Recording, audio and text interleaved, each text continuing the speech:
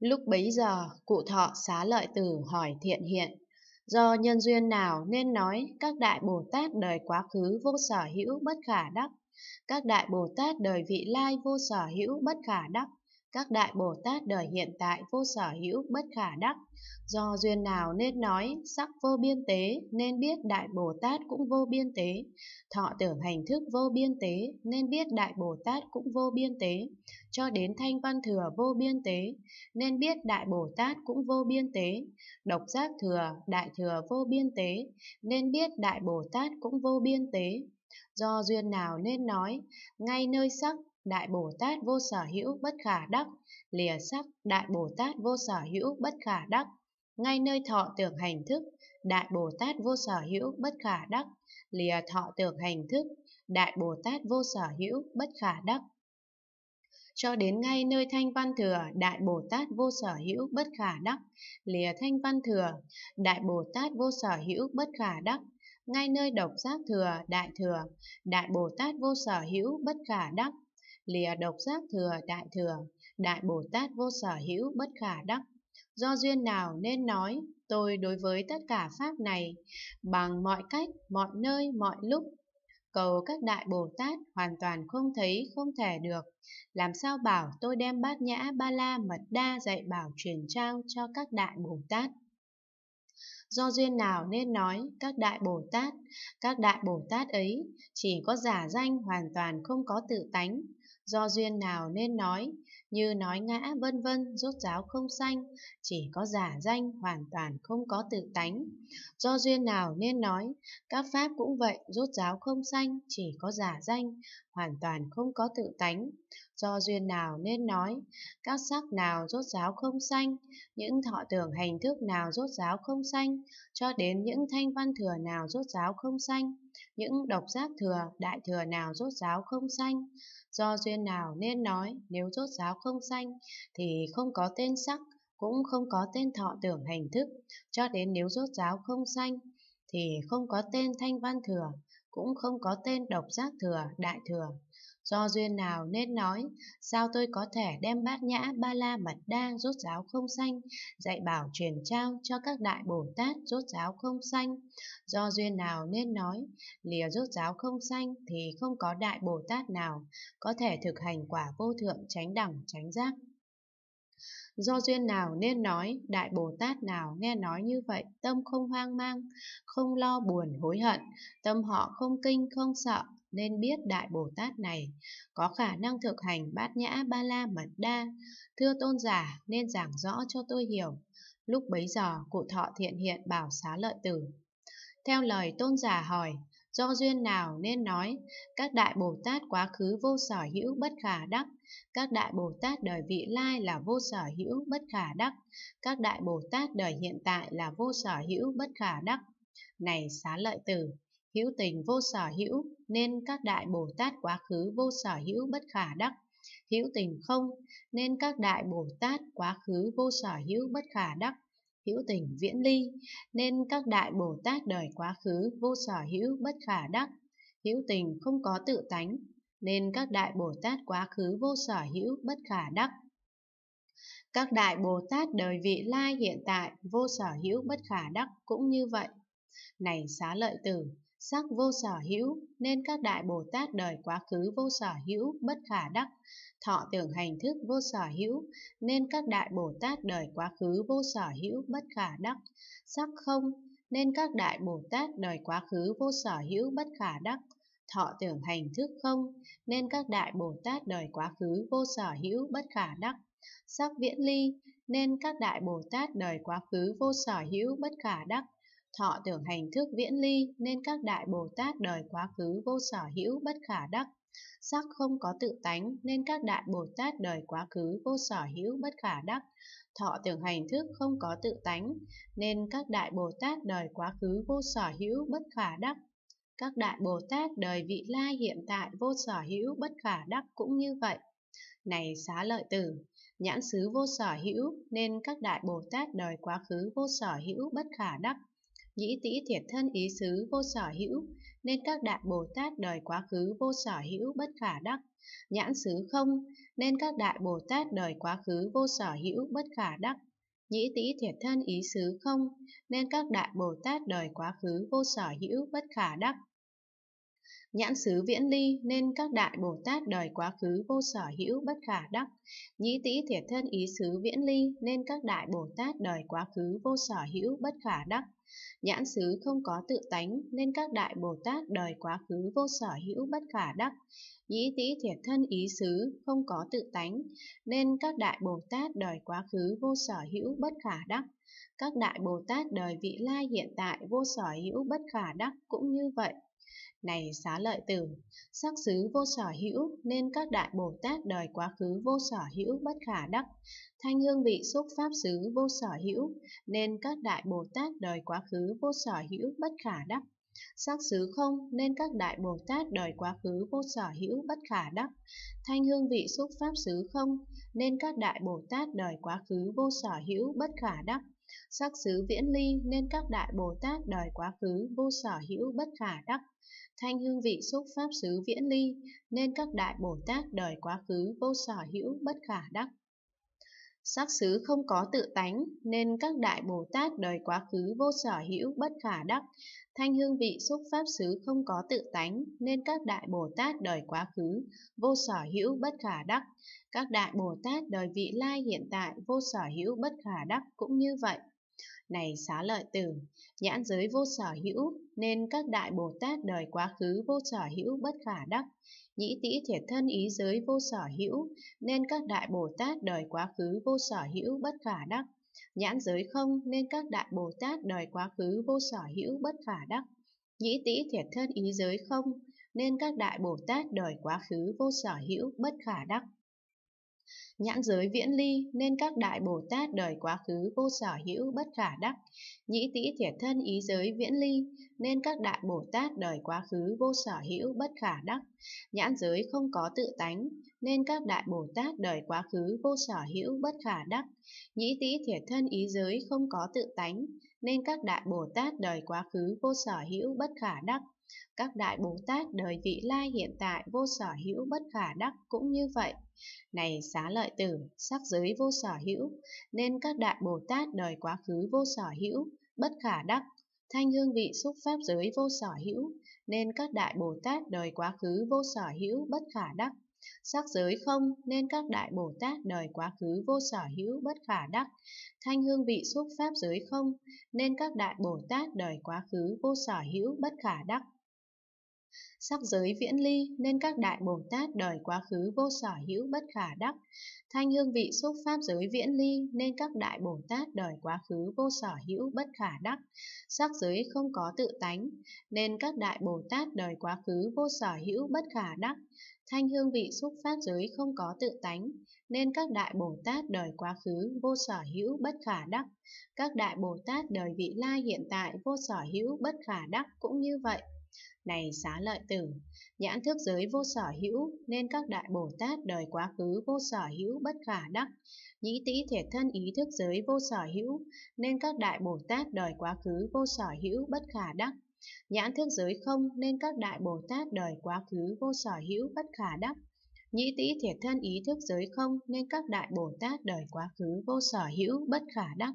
Nhãn thức giới viễn ly, nên các đại Bồ Tát đời quá khứ vô sở hữu bất khả đắc. Nhĩ tĩ thiệt thân ý thức giới viễn ly, nên các đại Bồ Tát đời quá khứ vô sở hữu bất khả đắc. Nhãn thức giới không có tự tánh, nên các đại Bồ Tát đời quá khứ vô sở hữu bất khả đắc. Nhĩ tĩ thiệt thân ý thức giới không có tự tánh, nên các đại Bồ Tát đời quá khứ vô sở hữu bất khả đắc.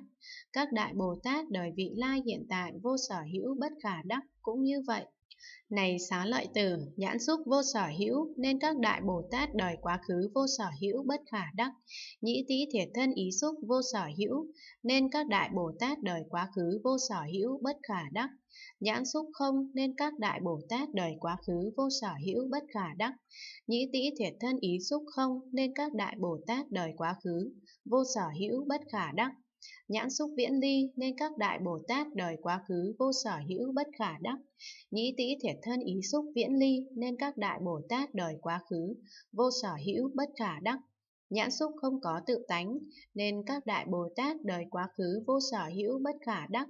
Nhĩ tĩ thiệt thân ý xúc không có tự tánh nên các đại Bồ Tát đời quá khứ vô sở hữu bất khả đắc. Các đại Bồ Tát đời vị lai hiện tại vô sở hữu bất khả đắc cũng như vậy.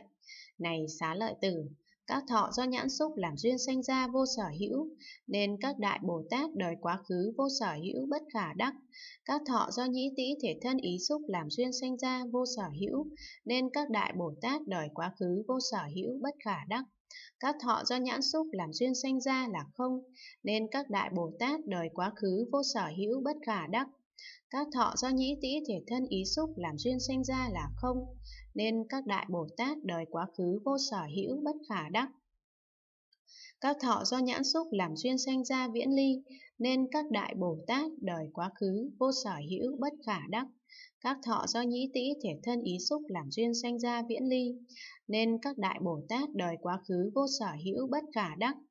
Các thọ do nhãn xúc làm duyên sanh ra không có tự tánh, nên các đại Bồ Tát đời quá khứ vô sở hữu bất khả đắc. Các thọ do nhĩ tĩ thể thân ý xúc làm duyên sanh ra không có tự tánh, nên các đại Bồ Tát đời quá khứ vô sở hữu bất khả đắc. Các đại Bồ Tát đời vị lai hiện tại vô sở hữu bất khả đắc cũng như vậy. Này xá lợi tử, Bố thí ba la mật đa vô sở hữu nên các đại Bồ Tát đời quá khứ vô sở hữu bất khả đắc tịnh giới an nhẫn, tinh tấn, tịnh lự, bát nhã, ba la, mật đa vô sở hữu, nên các đại Bồ Tát đời quá khứ vô sở hữu bất khả đắc. Bố thí ba la mật đa là không, nên các đại Bồ Tát đời quá khứ vô sở hữu bất khả đắc. Tịnh giới, an nhẫn, tinh tấn, tịnh lự, bát nhã, ba la, mật đa là không, nên các đại Bồ Tát đời quá khứ vô sở hữu bất khả đắc. Bố thí ba la mật đa viễn ly nên các đại Bồ Tát đời quá khứ vô sở hữu bất khả đắc, tịnh giới an nhẫn tinh tấn tịnh lự bát nhã ba la mật đa viễn ly nên các đại Bồ Tát đời quá khứ vô sở hữu bất khả đắc. Bố thí ba la mật đa không có tự tánh nên các đại Bồ Tát đời quá khứ vô sở hữu bất khả đắc. Tịnh giới an nhẫn, tinh tấn, tịnh lự, bát nhã, ba la, mật đa không có tự tánh, nên các đại Bồ Tát đời quá khứ vô sở hữu bất khả đắc. Các đại Bồ Tát đời vị lai hiện tại vô sở hữu bất khả đắc cũng như vậy. Này xá lợi tử, Pháp không nội vô sở hữu, nên các đại Bồ Tát đời quá khứ vô sở hữu bất khả đắc. Pháp không ngoại, Pháp không nội ngoại, Pháp không không, Pháp không lớn, Pháp không thắng nghĩa, Pháp không hữu vi, Pháp không vô vi, Pháp không rốt giáo, Pháp không không biên giới, Pháp không tán vô tán, Pháp không bổn tánh, Pháp không tự cộng tướng, Pháp không tất cả Pháp, Pháp không chẳng thể nắm bắt được, Pháp không vô tánh, Pháp không tự tánh, Pháp không vô tánh tự tánh, vô sở hữu, nên nên các đại Bồ Tát. Đời quá khứ vô sở hữu bất khả đắc pháp không nội là không, nên các đại bồ tát đời quá khứ vô sở hữu bất khả đắc. Pháp không ngoại cho đến pháp không vô tánh tự tánh là không, nên các đại bồ tát đời quá khứ vô sở hữu bất khả đắc. Pháp không nội viễn ly, nên các đại bồ tát đời quá khứ vô sở hữu bất khả đắc. Pháp không ngoại cho đến pháp không vô tánh tự tánh viễn ly, nên các đại bồ tát đời quá khứ vô sở hữu bất khả đắc. Pháp không nội không có tự tánh, nên các đại Bồ Tát đời quá khứ vô sở hữu bất khả đắc. Pháp không ngoại cho đến Pháp không vô tánh tự tánh, không có tự tánh, nên các đại Bồ Tát đời quá khứ vô sở hữu bất khả đắc. Các đại Bồ Tát đời vị lai hiện tại vô sở hữu bất khả đắc cũng như vậy. Này xá lợi tử, bốn niệm trụ vô sở hữu nên các đại Bồ Tát đời quá khứ vô sở hữu bất khả đắc, bốn tránh đoạn, bốn thần túc, năm căn năm lực, bảy chi đẳng giác, tám chi thánh đạo vô sở hữu nên các đại Bồ Tát đời quá khứ vô sở hữu bất khả đắc. Bốn niệm trụ là không nên các đại Bồ Tát đời quá khứ vô sở hữu bất khả đắc. Bốn tránh đoạn cho đến tám chi thánh đạo là không, nên các đại Bồ Tát đời quá khứ vô sở hữu bất khả đắc. Bốn niệm trụ viễn ly nên các đại Bồ Tát đời quá khứ vô sở hữu bất khả đắc. Bốn tránh đoạn cho đến tám chi thánh đạo viễn ly nên các đại Bồ Tát đời quá khứ vô sở hữu bất khả đắc. Bốn niệm trụ không có tự tánh nên các đại Bồ Tát đời quá khứ vô sở hữu bất khả đắc. bốn tránh đoạn cho đến tám chi thánh đạo không có tự tánh, nên các đại Bồ Tát đời quá khứ vô sở hữu bất khả đắc. Các đại Bồ Tát đời vị la hiện tại vô sở hữu bất khả đắc cũng như vậy. Này xá lợi tử, như vậy cho đến mười lực của Phật vô sở hữu, nên các đại Bồ Tát đời quá khứ vô sở hữu bất khả đắc, bốn điều không sợ, bốn sự hiểu biết thông suốt, đại từ, đại bi, đại hỷ, đại xả, 18 pháp Phật bất cộng vô sở hữu, nên các đại Bồ Tát đời quá khứ vô sở hữu bất khả đắc.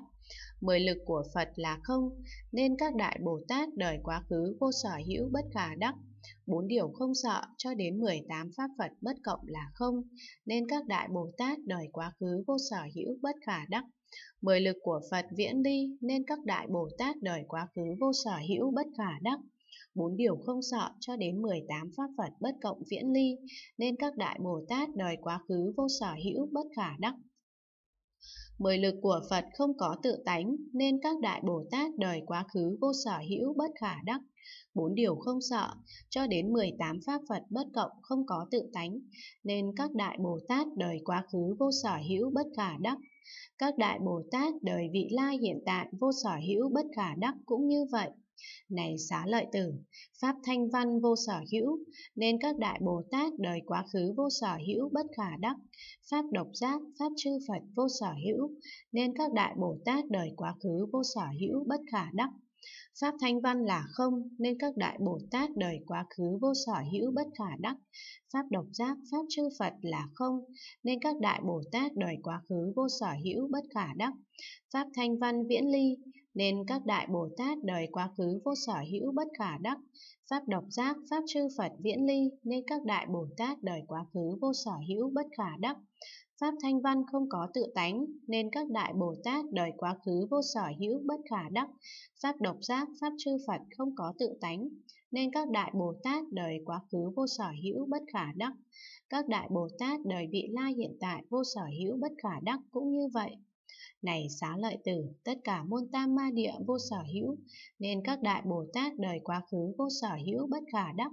Tất cả môn đà la ni vô sở hữu, nên các đại Bồ Tát đời quá khứ vô sở hữu bất khả đắc. Tất cả muôn tam ma địa là không, nên các đại Bồ Tát đời quá khứ vô sở hữu bất khả đắc. Tất cả muôn đà la ni là không, nên các đại Bồ Tát đời quá khứ vô sở hữu bất khả đắc. Tất cả môn tam ma địa viễn ly nên các đại Bồ Tát đời quá khứ vô sở hữu bất khả đắc. Tất cả môn đà la ni viễn ly nên các đại Bồ Tát đời quá khứ vô sở hữu bất khả đắc. Tất cả môn tam ma địa không có tự tánh nên các đại Bồ Tát đời quá khứ vô sở hữu bất khả đắc. Tất cả môn đà la ni không có tự tánh nên các đại Bồ Tát đời quá khứ vô sở hữu bất khả đắc. Các đại Bồ Tát đời vị lai hiện tại vô sở hữu bất khả đắc cũng như vậy. Này xá lợi tử, Pháp giới vô sở hữu nên các đại Bồ Tát đời quá khứ vô sở hữu, bất khả đắc. Chân như thật tế, cảnh giới bất tư nghỉ, cảnh giới an ẩn vân vân vô sở hữu nên các đại Bồ Tát đời quá khứ vô sở hữu bất khả đắc. Pháp giới là không nên các đại Bồ Tát đời quá khứ vô sở hữu bất khả đắc, chân như thật tế, cảnh giới bất tư nghỉ, cảnh giới an ẩn vân vân là không, nên các đại Bồ Tát đời quá khứ vô sở hữu bất khả đắc.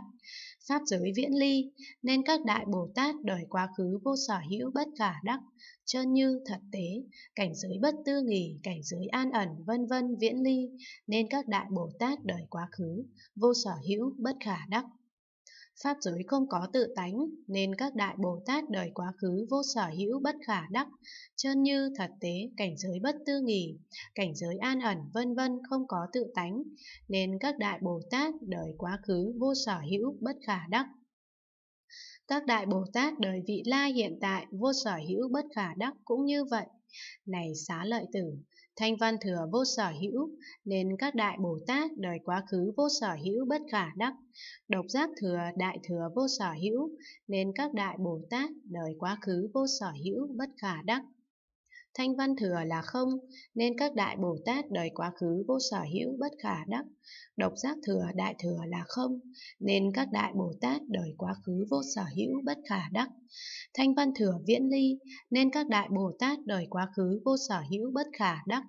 Độc giác thừa đại thừa viễn ly, nên các đại Bồ Tát đời quá khứ vô sở hữu bất khả đắc.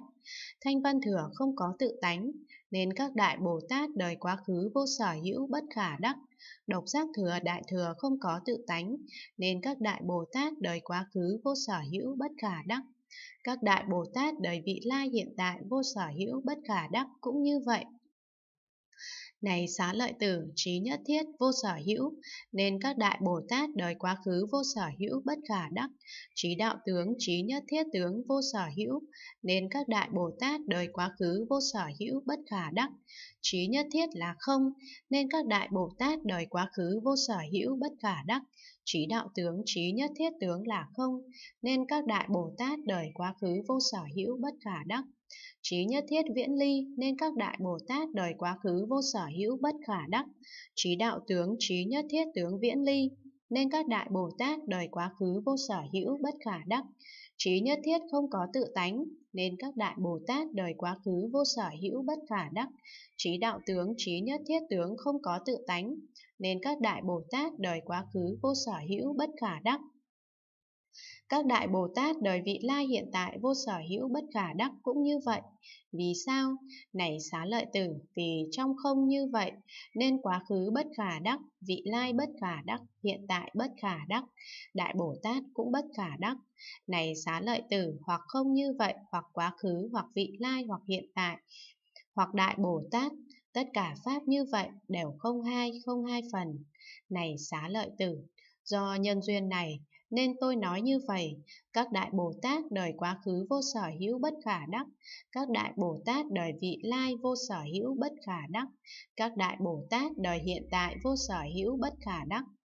Lại nữa, này xá lợi tử, theo lời tôn giả hỏi, do duyên nào nên nói sắc vô biên tế, nên biết đại Bồ Tát cũng vô biên tế, thọ tưởng hành thức vô biên tế, nên biết đại Bồ Tát cũng vô biên tế? Cho đến thanh văn thừa vô biên tế, nên biết Đại Bồ Tát cũng vô biên tế. Độc giác thừa, Đại thừa vô biên tế, nên biết Đại Bồ Tát cũng vô biên tế. Này xá lợi tử, sắc như hư không, thọ tưởng hành thức như hư không. Vì sao? Vì như hư không, khoảng trước bất khả đắc, khoảng sau bất khả đắc, khoảng giữa bất khả đắc, do khoảng cách trong đều bất khả đắc, nên nói là hư không. Sắc cho đến thức cũng như vậy, khoảng trước, khoảng sau, khoảng giữa đều bất khả đắc. Vì sao? Vì tánh của sắc cho đến thức đều là không. Này xá lợi tử, khoảng trước trong không bất khả đắc, khoảng sau bất khả đắc, khoảng giữa bất khả đắc. Cũng do các khoảng đó đều bất khả đắc nên nói là không. Này xá lợi tử, do nhân duyên này, tôi nói sắc vô biên tế nên biết Đại Bồ Tát cũng vô biên tế. Thọ tưởng hành thức vô biên tế, nên biết Đại Bồ Tát cũng vô biên tế, cho đến ba thừa cũng như vậy. Lại nữa, này xá lợi tử, theo lời tôn giả hỏi, do duyên nào nên nói ngay nơi sắc, Đại Bồ Tát vô sở hữu bất khả đắc, lìa sắc, Đại Bồ Tát vô sở hữu bất khả đắc, ngay nơi thọ tưởng hành thức, Đại Bồ Tát vô sở hữu bất khả đắc, lìa thọ tưởng hành thức, Đại Bồ Tát vô sở hữu bất khả đắc? Cho đến ngay nơi thanh văn thừa, đại bồ tát vô sở hữu bất khả đắc. Lìa thanh văn thừa, đại bồ tát vô sở hữu bất khả đắc. Ngay nơi độc giác thừa, đại thừa, đại bồ tát vô sở hữu bất khả đắc. Lìa độc giác thừa, đại thừa, đại bồ tát vô sở hữu bất khả đắc. Này xá lợi tử, sắc, tánh không của sắc, thọ tưởng hành thức, tánh không của thọ tưởng hành thức vì sao vì sắc trong tánh không của sắc vô sở hữu bất khả đắc các đại Bồ Tát cũng vô sở hữu bất khả đắc, thọ tưởng hành thức, trong tánh không của thọ tưởng hành thức vô sở hữu bất khả đắc. Các đại Bồ Tát cũng vô sở hữu bất khả đắc. Này xá lợi tử, chẳng phải sắc, tánh không của chẳng phải sắc, chẳng phải thọ tưởng hành thức, tánh không của chẳng phải thọ tưởng hành thức. Vì sao? Vì chẳng phải sắc ở trong tánh không của chẳng phải sắc vô sở hữu bất khả đắc. Các đại Bồ Tát cũng vô sở hữu bất khả đắc, chẳng phải thọ tưởng hành thức và trong tánh không của chẳng phải thọ tưởng hành thức vô sở hữu bất khả đắc. Các đại Bồ Tát cũng vô sở hữu bất khả đắc. Này xá lợi tử, do nhân duyên này tôi nói, ngày nơi sắc đại Bồ Tát vô sở hữu bất khả đắc, lìa sắc đại Bồ Tát vô sở hữu bất khả đắc, ngay nơi thọ tưởng hành thức, Đại Bồ Tát vô sở hữu bất khả đắc, lìa thọ tưởng hành thức, Đại Bồ Tát vô sở hữu bất khả đắc, cho đến ba thừa cũng như vậy. Lại nữa, này xá lợi tử, theo lời tôn giả hỏi, do duyên nào nên nói đối với tất cả pháp này, với tất cả chủng loại mọi nơi mọi lúc mà mong cầu các đại Bồ Tát, tôi hoàn toàn không thể thấy không thể được. Làm sao bảo tôi đem bát nhã ba la mật đa dạy bảo truyền trao cho các đại Bồ Tát được? Này xá lợi tử, sắc, tánh của sắc là không, sắc đối với sắc vô sở hữu bất khả đắc, sắc đối với thọ tưởng hành thức vô sở hữu bất khả đắc, thọ tưởng hành thức trong sắc cũng vô sở hữu bất khả đắc. Thọ, tánh thọ là không, thọ đối với thọ vô sở hữu bất khả đắc, thọ đối với sắc, tưởng hành thức vô sở hữu bất khả đắc, sắc tưởng hành thức trong thọ cũng vô sở hữu bất khả đắc. Tưởng, tánh của tưởng là không, tưởng đối với tưởng vô sở hữu bất khả đắc, tưởng đối với sắc, thọ tưởng hành thức vô sở hữu bất khả đắc. Sắc, thọ, hành thức trong tưởng cũng vô sở hữu bất khả đắc, hành tánh của hành là không, hành đối với hành vô sở hữu bất khả đắc, hành đối với sắc thọ, tưởng thức, vô sở hữu bất khả đắc, sắc thọ tưởng thức trong hành cũng vô sở hữu bất khả đắc. Thức tánh của thức là không, thức đối với thức vô sở hữu bất khả đắc, thức đối với sắc thọ tưởng hành là vô sở hữu bất khả đắc, sắc thọ tưởng hành trong thức cũng vô sở hữu bất khả đắc. Này xá lợi tử, nhãn xứ, tánh của nhãn xứ là không. Nhãn xứ đối với nhãn xứ vô sở hữu bất khả đắc. Nhãn xứ đối với nhĩ tĩ thể thân ý xứ vô sở hữu bất khả đắc. Nhĩ tĩ thể thân ý xứ trong nhãn xứ cũng vô sở hữu bất khả đắc. Nhĩ xứ, tánh của nhĩ xứ là không. Nhĩ xứ đối với nhĩ xứ vô sở hữu bất khả đắc. Nhĩ xứ Đối với nhãn tĩ thiệt thân ý xứ vô sở hữu bất khả đắc, nhãn tĩ thiệt thân ý xứ trong nhĩ xứ cũng vô sở hữu bất khả đắc. Tĩ xứ, tánh của tĩ xứ là không, tĩ xứ đối với tĩ xứ vô sở hữu bất khả đắc. Tĩ xứ đối với nhãn nhĩ thiệt thân ý xứ vô sở hữu bất khả đắc. Nhãn nhĩ thiệt thân ý xứ trong tĩ xứ cũng vô sở hữu bất khả đắc. Thiệt xứ, tánh của thiệt xứ là không. Thiệt xứ đối với thiệt xứ vô sở hữu bất khả đắc. Thiệt xứ đối với nhãn nhĩ tĩ, thân ý xứ vô sở hữu bất khả đắc. Nhãn nhĩ tĩ thân ý xứ trong thiệt xứ cũng vô sở hữu bất khả đắc. Thân xứ tánh của thân xứ là không. Thân xứ đối với thân xứ vô sở hữu bất khả đắc. Thân xứ đối với nhãn nhĩ tĩ thiệt ý xứ vô sở hữu bất khả đắc. Nhãn nhĩ tĩ thiệt ý xứ trong thân xứ cũng vô sở hữu bất khả đắc. Ý xứ, tánh của ý xứ là không. Ý xứ đối với ý xứ vô sở hữu bất khả đắc. Ý xứ đối với nhãn nhĩ tĩ thiệt thân xứ vô sở hữu bất khả đắc. Nhãn nhĩ tĩ thiệt thân xứ trong ý xứ cũng vô sở hữu bất khả đắc. Này xá lợi tử, sắc xứ, tánh của sắc xứ là không. Sắc xứ đối với sắc xứ vô sở hữu bất khả đắc. Sắc xứ đối với thanh hương vị xúc pháp xứ vô sở hữu bất khả đắc. Thanh hương vị xúc pháp xứ trong sắc xứ cũng vô sở hữu bất khả đắc. Thanh xứ, tánh của thanh xứ là không. Thanh xứ đối với thanh xứ vô sở hữu bất khả đắc. Thanh xứ đối với sắc hương vị xúc pháp xứ vô sở hữu bất khả đắc sắc hương vị xúc pháp xứ trong thanh xứ cũng vô sở hữu bất khả đắc. Hương xứ tánh của hương xứ là không, hương xứ đối với hương xứ vô sở hữu bất khả đắc. Hương xứ đối với sắc thanh, vị xúc pháp xứ vô sở hữu bất khả đắc. Sắc thanh vị xúc pháp xứ trong hương xứ cũng vô sở hữu bất khả đắc. Vị xứ tánh của vị xứ là không, vị xứ đối với vị xứ vô sở hữu bất khả đắc. Vị xứ đối với sắc thanh hương xúc pháp xứ vô sở hữu bất khả đắc. Sắc thanh hương xúc pháp xứ trong vị xứ cũng vô sở hữu bất khả đắc. Xúc xứ tánh của xúc xứ là không. Xúc xứ đối với xúc xứ vô sở hữu bất khả đắc xúc xứ đối với sắc thanh hương vị pháp xứ vô sở hữu bất khả đắc sắc thanh hương vị pháp xứ trong xúc xứ cũng vô sở hữu bất khả đắc. Pháp xứ, tánh của pháp xứ là không, pháp xứ đối với pháp xứ vô sở hữu bất khả đắc. Pháp xứ đối với sắc thanh, hương vị xúc xứ, vô sở hữu bất khả đắc. Sắc thanh hương vị xúc xứ trong pháp xứ cũng vô sở hữu bất khả đắc. Này xá lợi tử, nhãn giới, tánh của nhãn giới là không. Nhãn giới, đối với nhãn giới vô sở hữu bất khả đắc. Nhãn giới, đối với nhĩ tĩ thiệt thân ý giới, vô sở hữu bất khả đắc. Nhĩ tĩ thiệt thân ý giới trong nhãn giới, cũng vô sở hữu bất khả đắc.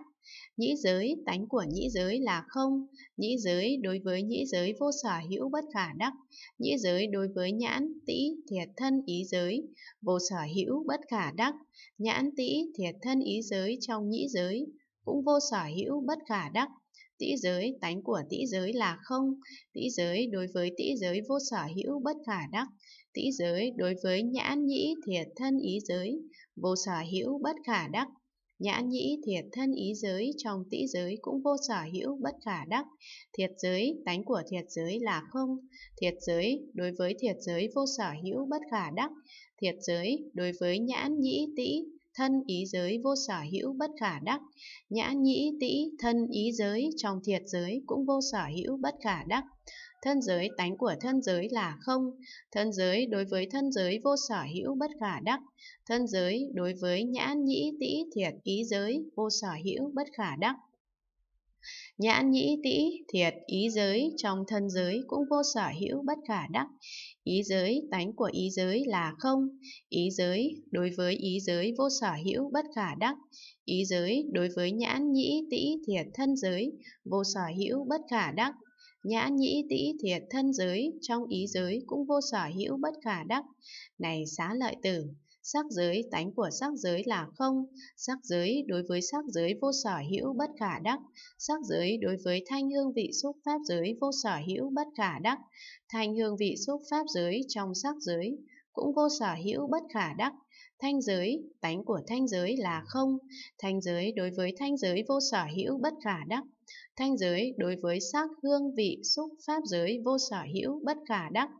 Sắc hương vị xúc pháp giới trong thanh giới cũng vô sở hữu bất khả đắc. Hương giới, tánh của hương giới là không. Hương giới đối với hương giới vô sở hữu bất khả đắc. Hương giới đối với sắc thanh vị xúc pháp giới vô sở hữu bất khả đắc. Sắc thanh vị xúc pháp giới trong hương giới cũng vô sở hữu bất khả đắc. Vị giới, tánh của vị giới là không. Vị giới, đối với vị giới vô sở hữu bất khả đắc. Vị giới, đối với sắc thanh hương xúc pháp giới, vô sở hữu bất khả đắc. Sắc thanh hương xúc pháp giới trong vị giới cũng vô sở hữu bất khả đắc. Xúc giới, tánh của xúc giới là không. Xúc giới đối với xúc giới vô sở hữu bất khả đắc. Xúc giới đối với sắc thanh hương vị pháp giới, vô sở hữu bất khả đắc sắc thanh hương vị pháp giới trong xúc giới cũng vô sở hữu bất khả đắc. Pháp giới tánh của pháp giới là không, pháp giới đối với pháp giới vô sở hữu bất khả đắc. Pháp giới đối với sắc thanh hương vị xúc giới vô sở hữu bất khả đắc. Sắc thanh hương vị xúc giới trong pháp giới cũng vô sở hữu bất khả đắc. Này xá lợi tử, nhãn thức giới, tánh của nhãn thức giới là không. Nhãn thức giới đối với nhãn thức giới vô sở hữu bất khả đắc. Nhãn thức giới đối với nhĩ tĩ thiệt thân ý thức giới vô sở hữu bất khả đắc. Nhĩ tĩ thiệt thân ý thức giới trong nhãn thức giới cũng vô sở hữu bất khả đắc. Nhĩ thức giới, tánh của nhĩ thức giới là không. Nhĩ thức giới đối với nhĩ thức giới vô sở hữu bất khả đắc. Nhĩ thức giới đối với nhãn tĩ thiệt thân ý thức giới vô sở hữu bất khả đắc. Nhãn tĩ thiệt thân ý thức giới trong nhĩ thức giới cũng vô sở hữu bất khả đắc. Tĩ thức giới, tánh của tĩ thức giới là không. Tĩ thức giới đối với tĩ thức giới vô sở hữu bất khả đắc tỷ thức giới đối với nhãn nhĩ thiệt thân ý thức giới, vô sở hữu bất khả đắc. Nhãn nhĩ thiệt thân ý thức giới, trong tỷ thức giới cũng vô sở hữu bất khả đắc. Thiệt thức giới, tánh của thiệt thức giới là không. Thiệt thức giới đối với thiệt thức giới vô sở hữu bất khả đắc. Thiệt thức giới đối với nhãn nhĩ tĩ thân ý thức giới, vô sở hữu bất khả đắc nhãn nhĩ tĩ thân ý thức giới, trong thiệt thức giới cũng vô sở hữu bất khả đắc. Thân thức giới, tánh của thân thức giới là không. Thân thức giới, đối với thân thức giới vô sở hữu bất khả đắc. Thân thức giới, đối với nhãn nhĩ tĩ thiệt ý thức giới, vô sở hữu bất khả đắc. Nhãn nhĩ tĩ thiệt ý thức giới trong thân thức giới, cũng vô sở hữu bất khả đắc. Ý thức giới, tánh của ý thức giới là không. Ý thức giới, đối với ý thức giới vô sở hữu bất khả đắc. Ý thức giới, đối với nhãn nhĩ tĩ thiệt thân thức giới, vô sở hữu bất khả đắc. Nhãn nhĩ tĩ thiệt thân thức giới, trong ý thức giới cũng vô sở hữu bất khả đắc. Này xá lợi tử, nhãn xúc, tánh của nhãn xúc là không. Nhãn xúc đối với nhãn xúc vô sở hữu bất khả đắc. Nhãn xúc đối với nhĩ tĩ thiệt thân ý xúc, vô sở hữu bất khả đắc. Nhĩ tĩ thiệt thân ý xúc, trong nhãn xúc cũng vô sở hữu bất khả đắc. Nhĩ xúc, tánh của nhĩ xúc là không. Nhĩ xúc đối với nhĩ xúc vô sở hữu bất khả đắc. Nhĩ xúc đối với nhãn tĩ thiệt thân ý xúc, vô sở hữu bất khả đắc. Nhãn tĩ thiệt thân ý xúc, trong nhĩ xúc cũng vô sở hữu bất khả đắc. Tĩ xúc, tánh của tĩ xúc là không. Tĩ xúc đối với tĩ xúc vô sở hữu bất khả đắc. Tĩ xúc đối với nhãn nhĩ, thiệt thân ý xúc, vô sở hữu, bất khả đắc. Nhãn nhĩ, thiệt thân ý xúc, trong tĩ xúc cũng vô sở hữu, bất khả đắc.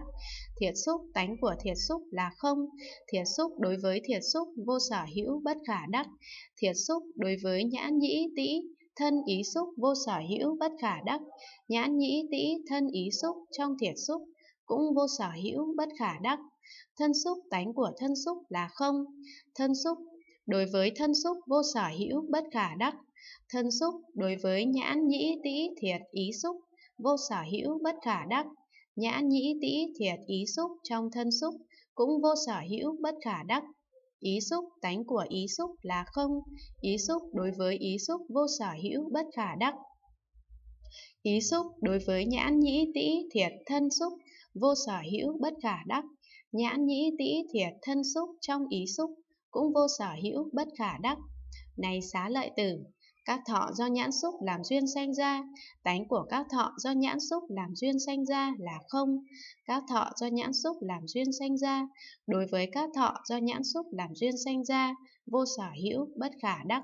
Các thọ do nhãn xúc làm duyên sanh ra, đối với các thọ do nhĩ tĩ thiệt thân ý xúc làm duyên sanh ra, vô sở hữu bất khả đắc các thọ do nhĩ tĩ thiệt thân ý xúc làm duyên sanh ra, trong các thọ do nhãn xúc làm duyên sanh ra cũng vô sở hữu bất khả đắc. Các thọ do nhĩ xúc làm duyên sanh ra, tánh của các thọ do nhĩ xúc làm duyên sanh ra là không. Các thọ do nhĩ xúc làm duyên sanh ra, đối với các thọ do nhĩ xúc làm duyên sanh ra, vô sở hữu bất khả đắc các thọ do nhĩ xúc làm duyên sanh ra, đối với các thọ do nhãn tĩ, thiệt thân, ý xúc làm duyên sanh ra, vô sở hữu, bất khả đắc. Các thọ do nhãn tĩ, thiệt thân, ý xúc làm duyên sanh ra, trong các thọ do nhĩ xúc làm duyên sanh ra, cũng vô sở hữu, bất khả đắc. Các thọ do tĩ xúc làm duyên sanh ra, tánh của các thọ do tĩ xúc làm duyên sanh ra là không. Các thọ do tĩ xúc làm duyên sanh ra, đối với các thọ do tĩ xúc làm duyên sanh ra, vô sở hữu bất khả đắc. Các thọ do tĩ xúc làm duyên sanh ra, đối với các thọ do nhãn nhĩ thiệt thân ý xúc làm duyên sanh ra, vô sở hữu bất khả đắc. Các thọ do nhãn nhĩ, thiệt, thân, ý xúc làm duyên sanh ra, trong các thọ do tĩ xúc làm duyên sanh ra, cũng vô sở hữu bất khả đắc. Các thọ do thiệt xúc làm duyên sanh ra, tánh của các thọ do thiệt xúc làm duyên sanh ra là không. Các thọ do thiệt xúc làm duyên sanh ra, đối với các thọ do thiệt xúc làm duyên sanh ra vô sở hữu bất khả đắc. Các thọ do thiệt xúc làm duyên sanh ra, đối với các thọ do nhãn nhĩ tĩ thân ý xúc làm duyên sanh ra vô sở hữu bất khả đắc. Các thọ do nhãn nhĩ tĩ thân ý xúc làm duyên sanh ra, trong các thọ do thiệt xúc làm duyên sanh ra cũng vô sở hữu bất khả đắc. Các thọ do thân xúc làm duyên sanh ra, tánh của các thọ do thân xúc làm duyên sanh ra là không. Các thọ do thân xúc làm duyên sanh ra, đối với các thọ do thân xúc làm duyên sanh ra, vô sở hữu bất khả đắc. Các thọ do thân xúc làm duyên sanh ra, đối với các thọ do nhãn, nhĩ, tĩ, thiệt, ý xúc làm duyên sanh ra, vô sở hữu bất khả đắc. Các thọ do nhãn, nhĩ, tĩ, thiệt, ý xúc làm duyên sanh ra, trong các thọ do thân xúc làm duyên sanh ra, cũng vô sở hữu bất khả đắc. Các thọ do ý xúc làm duyên sanh ra, tánh của các thọ do ý xúc làm duyên sanh ra là không. Các thọ do ý xúc làm duyên sanh ra, đối với các thọ do ý xúc làm duyên sanh ra vô sở hữu bất khả đắc. Các thọ do ý xúc làm duyên sanh ra, đối với các thọ do nhãn nhĩ tĩ thiệt thân xúc làm duyên sanh ra vô sở hữu bất khả đắc các thọ do nhãn nhĩ tĩ thiệt thân xúc làm duyên sanh ra trong các thọ do ý xúc làm duyên sanh ra cũng vô sở hữu bất khả đắc Hết quyển thứ 421